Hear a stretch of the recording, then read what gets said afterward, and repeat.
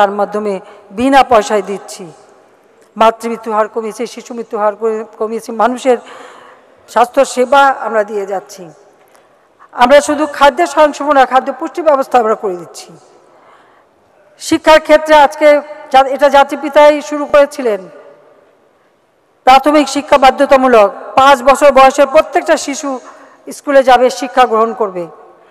আমরা প্রাথমিক শিক্ষা থেকে সে শিক্ষা ব্যবস্থা হাতে নিয়েছি এবং তিনি যেমন যুদ্ধবিধ্বস্ত দেশীয় স্কুল জাতীয়করণ করেছিলেন, আমরা আওয়ামী লীগ সরকার এসে প্রথম জাতীয়করণ করি, আরও স্কুল যা, এবং আমরা শিক্ষকদের সেই মর্যাদা বাড়াই।